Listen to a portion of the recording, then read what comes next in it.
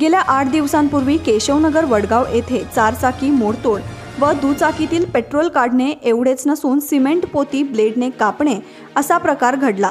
तर जवळच असलेल्या आनंदनगर वडगाव येथील पहिला क्रॉस येथील दत्तात्रय बिर्जगर्णीकर यांच्या घरासमोरील वरांड्यात ठेवण्यात आलेले सिलेंडर दुपारी सव्वा तीन वाजता चोरी केल्याचा प्रकार घडला आहे.